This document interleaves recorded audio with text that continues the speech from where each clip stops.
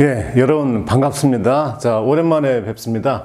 자, 오늘은 우리 송전용 철탑의 트램 포지션, 상의 위치를 바꿔주는 연가를 실시하죠. 그래서 연가의 정의, 그 다음에 등가 선간 거리를 한번 유도해 보겠습니다. 우리가 등가 선간 거리는 어, 값으로는 많이 기억을 하고 있는데 그 값이 어떻게 나왔느냐 이 부분에 대해서 어, 오늘 설명을 드려보도록 하겠습니다. 자, 먼저 연가의 정의 한번 보도록 하겠습니다. 자, 가공 송전선로의 선로 정수 불평형을 방지하기 위하여 어, 송전선로 도중에 어, 개폐소나 연가형 철탑을 이용해서 각 상의 위치를 서로 바꿔준다. 트램 포지션이 되는 거죠. 아, 그래서 전체 선로에 걸쳐 있는 각 상의 선로 정수를 동일하게 하는 것. 즉, 아, 선로 정수가 불평형하게 되는데 이 불평형을 평형화 시켜주는 것. 그것을 바로 연가다. 이렇게 얘기합니다. 자, 몇 가지 내용을 좀 보겠습니다. 아, 삼상 송전선로의 전선 설치는 실제 비대칭입니다. 여러분들 다 대칭으로 알고 계시지만 실제 비대칭이고요. 또 선로 진행에 따라서 산의 지형의 높이가 다 다르죠. 아, 그렇기 때문에 각상 전선의 선로 정수, 특히 L과 C가 다를 수밖에 없습니다. 자, 우리가 일반적으로 뭐 사각 철탑, 방형 철탑, 문형 철탑 이렇게 얘기하죠. 가장 일반적인 게 이제 사각 철탑인데 이 사각 철탑도 한번 보십시오. 지금 이제 이쪽 한 회선, 이쪽 한 회선에서 이제 2회선 송전이 되고 있는데 이쪽에 보면 이게 어, 예를 들어서 R상, S상, T상 송전한다고 보면 R과 S상 간의 거리, R과 T상 간의 거리가 다를 수밖에 없죠. 네, 다, 당연히 다릅니다.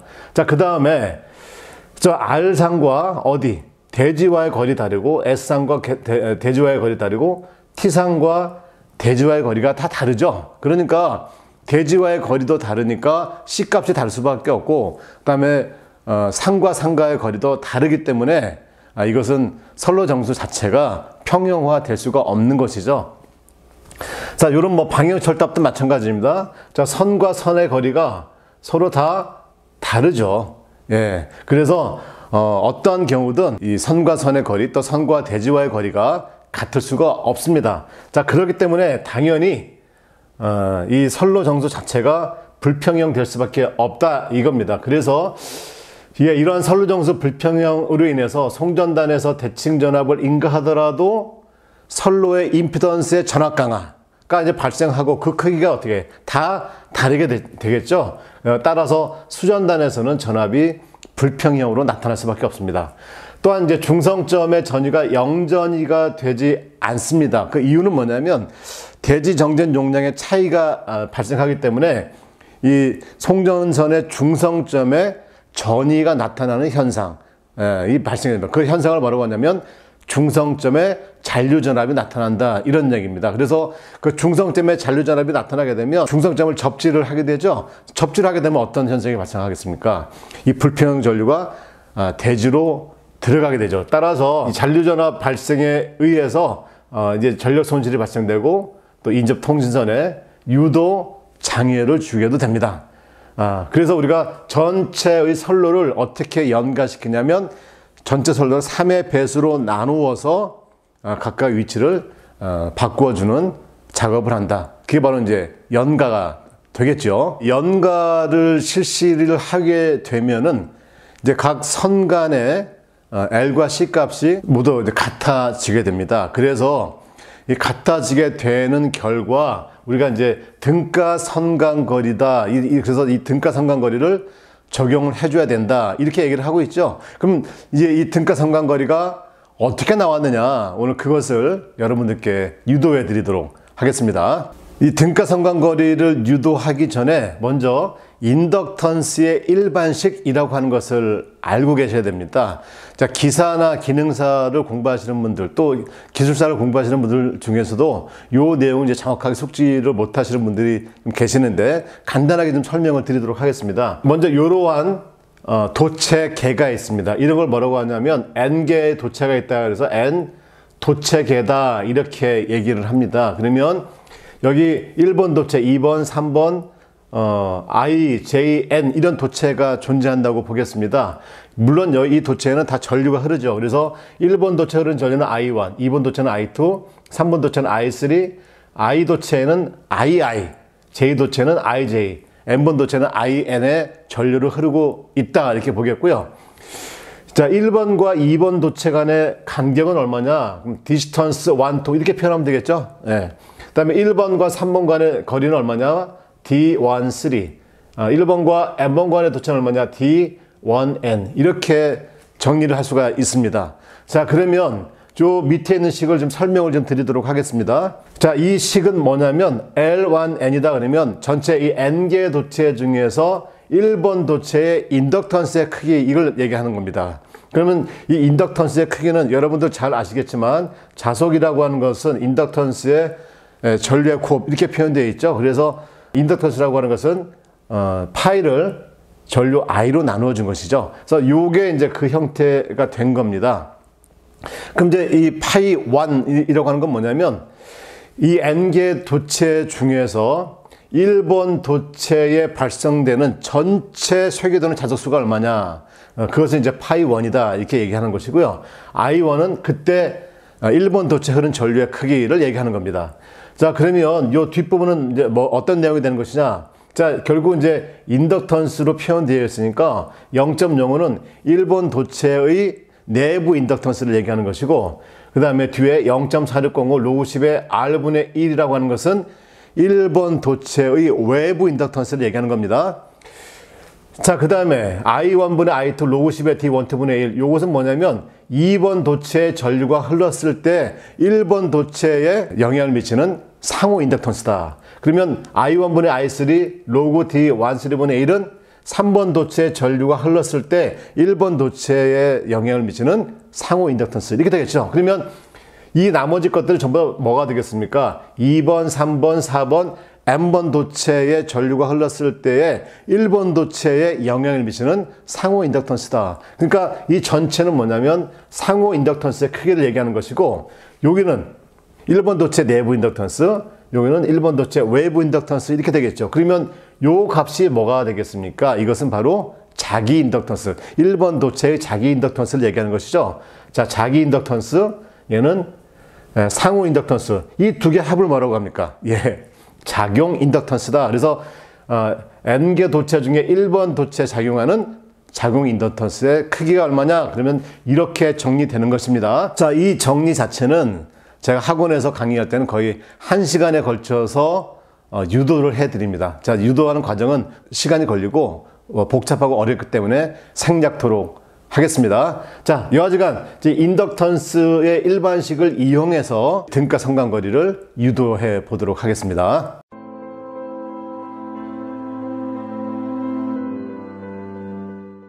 먼저 전제 조건을 가, 어, 져보겠습니다 A상의 도체, B상 도체, C상 도체 이렇게 보겠습니다. 그럼 A상에는 IA 전류가 흐르고 B상에도 IB, C상에도 IC의 전류가 흐른다 이렇게 보겠습니다. 자, 여기서 전제 조건은 A상에 흐르는 전류하고 B상의 전류에 흐르는 그 다음에 C상의 전류에 흐르는 이 값은 합이 얼마? 제로, 즉 평형이다. 왜 이것은 발전단 내지는 송전단에서 공급해주는 전력이니까 이 자체는 평형이다. 이것은 전제로 해야 되겠죠. 대신에 A와 B, C 요게 바로 배치가 어떻게 돼? 비정삼각형 배치다. 이렇게 보겠습니다. 그러면 어, A와 B 거리 DAB, 그 다음에 A와 C 도체 거리 DCA, B와 C 도체 거리 DBC 이 값이 다 어떻다는 얘기예요. 다 다르다 이런 얘기입니다. 자, 다 다른 경우에 있어서 이제 인덕턴스를 한번 구해 보겠습니다. 그러면 아까 설명드렸던 이제 인덕턴스의 일반식을 적용을 해 봐야 되겠죠. 자, 그러면 이제 먼저 A, A 도체에 인덕턴스 일반식을 한번 적용해 봅시다. 자, 그러면 이제 표현 어떻게 할까요? LA의 N 이렇게 하는 거죠. 그러니까 N개 도체 중에서 A 도체의 인덕턴스의 크기는 얼마냐 이런 얘기죠. 정확히 따지면 도체 3개니까 여기는 3 이렇게 되겠죠. 어, LA 3 이렇게 됩니다. 그러면 먼저 내부 인덕턴스는 얼마라고 했습니까? 0.05 이건 확정된 수입니다. 그러니까 이 도체 크기와 관계없이 모든 내부 인덕턴스는 어떤 도체든 다 0.05의 크기를 갖는다. 그 다음에 자 0.4605의 로그 10의 R분의 1 이건 뭐 아까 뭐라고 했냐면 외부 인덕턴스라고 했죠. 그러면 A 도체, B 도체, C 도체 이 반지름 다 얼마? A로 다 같다고 보겠습니다. 아, 그러면 어, RA, RB, RC 이 값이 다 얼마로 같다? R로 같다. 왜? 3상 1회선 송전이니까 당연히 도체 반지름 같겠죠. 그래서 로그 10의 R분의 1 요게 바로 이제 외부 인덕턴스가 되겠고요. 그 다음에 이제 상호 인덕턴스는 B상 전류에 의한 A 도체의 인덕턴스가 되는 거니까 이렇게 표현됩니다. 그래서 IA분의 IB의 로그 10의 DAB분의 1 예, 두 도체 간의 간격. C상 전류가 흘렀을 때의 A상 전류의 상호 인덕턴스는 IA분의 IC, 로그 10의 DAC분의 1. 그래서 A와 C 도체 간의 간격, 아, 요 간격이 되겠습니다. 자, 뭐 이런 식으로 해서 지금 다시 한번 더 정리해보면 A상의 인덕턴스는 0.05, 0.4605, 가로 열고 로그 10의 R분의 1 플러스 IA분의 IB, 로그 10의 DAB분의 1 플러스 IA분의 IC, 로그 10의 DAC분의 1 이렇게 나오겠죠? 자, 그럼 이제 B상 인덕턴스는 어떻게 나올 거냐? B상 인덕턴스는. 예, B상 인덕턴스는 이렇게 표현되겠죠? 세개 도체 중에서 B상 도체의 인덕턴스 값은 얼마냐? 이렇게 됩니다. 그러면 B상의 인덕턴스도 역시 어떻게 돼? 예, 내부 인덕턴스. 이건 도체 크게 관계 없다고 했으니까 다 값이 같을 수밖에 없고요. 그 다음에 0.4605의 로고 10의 R분의 1이죠. 아, 이것도 도체의 굵기는 세 개가 다 서로 같다 이렇게 했으니까.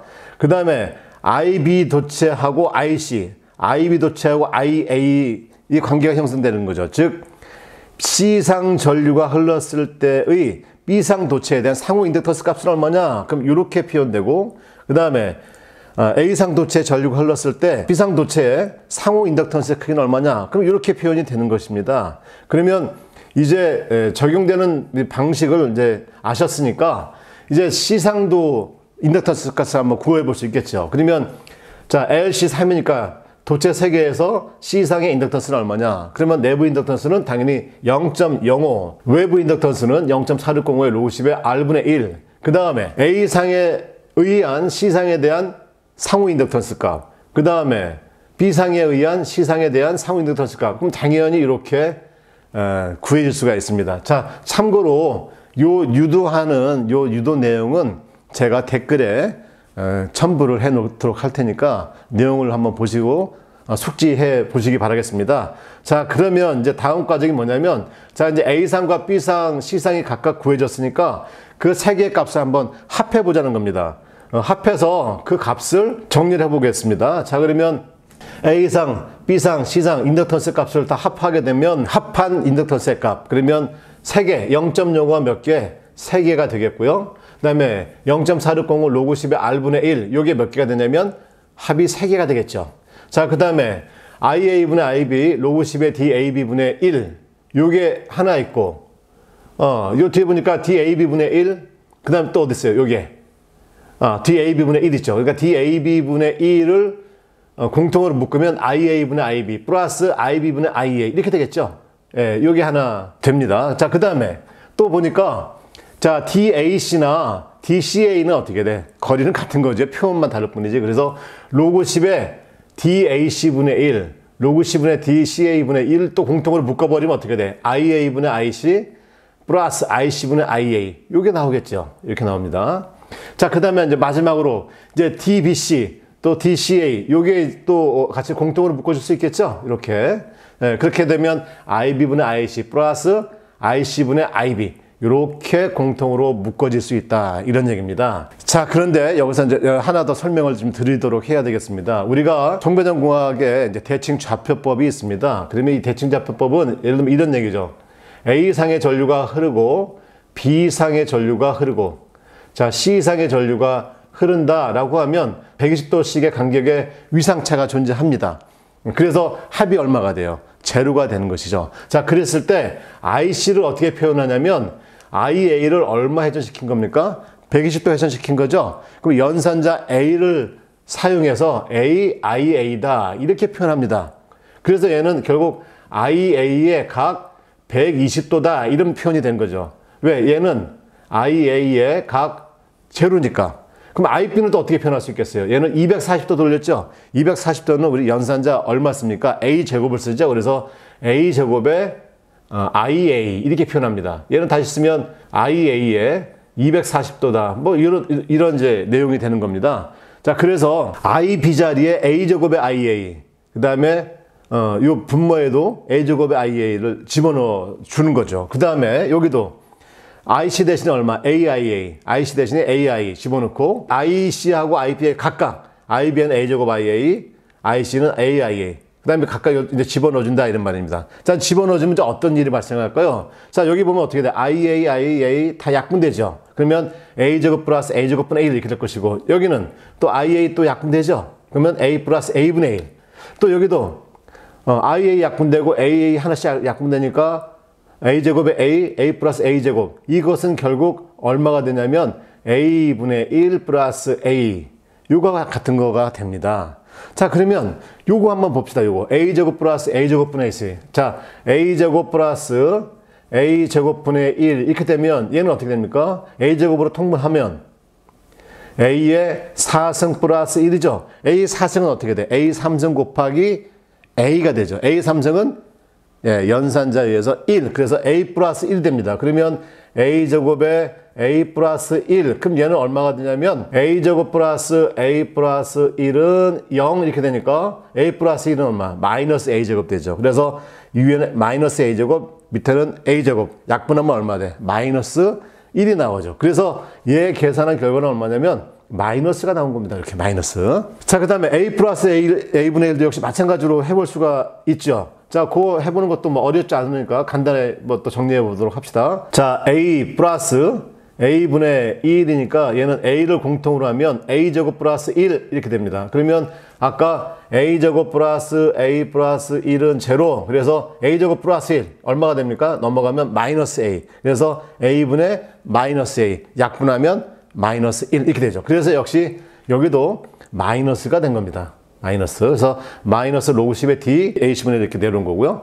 자, 그 다음에 어, 요거도 역시 어떻게 돼? 똑같은 값이니까 마이너스가 되겠죠. 그래서 마이너스 로그 10의 d bc분의 1 이렇게 정리가 된 겁니다. 자, 그러면 이제 아, 이 값을 이제 어떻게 될까요? 평균 값을 구해 줘야 되지. 왜 그렇습니까? 아까 세 개를 다 더했던 거 아닙니까? 세 개를 다 더했으니까 이제 다시 세 개를 어떻게 돼? 다시 3으로 나눠줘야 되겠죠. 예. 그래서 이제 3으로 나눠보겠습니다. 그러면 요 LS를 3으로 나눈 값, 그걸 이제 우리가 얘기하는 이제 인덕턴스다. 이렇게 표현합니다. 그러면 3으로 나누면 어떻게 돼? 0.05 그대로 올 것이고요. 그 다음에 0.460에 3 나누면 3이 없어지고 그대로 이렇게 올 것이고. 그 다음에 이 나머지는 어떻게 3으로 나눠지니까 3분의 1에 로그 10의 d ab분의 1 플러스 로그 10의 d ac분의 1 플러스 로그 10의 d bc분의 1 해서 마이너스만 바깥으로 빼준 거죠. 자, 그 다음에 요 뒤에는 요 뒤에는 로그 성질에 의해서 예를 들어서 로그 10의 A 플러스 로그 10의 B 플러스 로그 10의 C다. 그러면 이게 어떻게 됩니까? 로그 성질에 의해서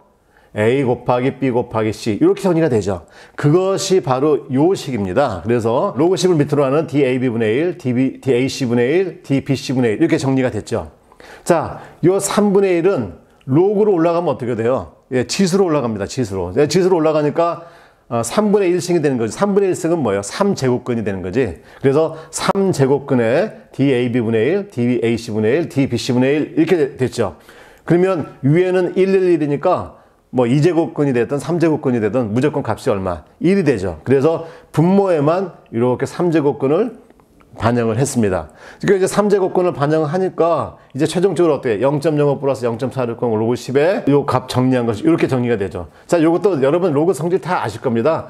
자, 로그 10의 A 마이너스 로그 10의 B다. 그러면 어떻게 돼? 로그 10의 B분의 A 이렇게 된 겁니다. 그래서 이 전체가 분모로 오고 요 전체가 분자로 올라갔죠. 그래서 우리가 이제 번분수 형태로 이렇게 정리해 주게 되면 어떻게 돼? 이렇게 나오죠. 이렇게 나옵니다. 그래서 이거 보니까 요 위에 거, 요 위에 것만 정리해 보니까 그걸 뭐라고 얘기할 수 있어요?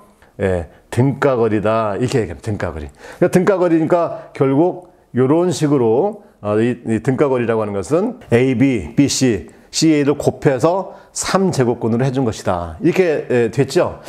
물론 이제 이렇게 하는 방법도 있고 연가의 정의에 의해서 이런 식으로 해서 전체를 3부, 3의 배수로 나눠줬고, 그 다음에 A상의 인덕턴스, 그 다음에 이 구간에서 A상의 또 인덕턴스, 또 3구간에서 A상의 인덕턴스를 구해줘도 됩니다. 이렇게 구해서 산술 평균을 해도 결과는 같이 나옵니다.